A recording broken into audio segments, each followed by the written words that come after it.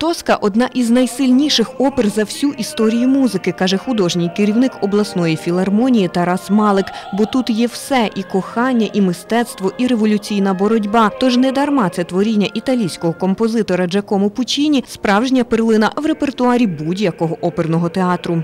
Опера про кохання, так як, так як переважно всі, е, всі опери, всі е, книжки і, і все, що навколо відбувається, це все про кохання. Для Хмельницького це буде е, справді щось, е, щось, щось таке з ефектом бомби, тому що е, не кожна область, не кожен симфонічний оркестр, не кожна філармонія може собі дозволити е, поставити оперу, а тим більше таку оперу, як Тоска, це рахується одна з найскладніших для виконання, як для солістів, так і для оркестру, так і для постановки опер. Вибуховою енергетикою та віртуозним виконанням глядачів тішитимуть талановиті солісти з Хмельницького та інших міст України.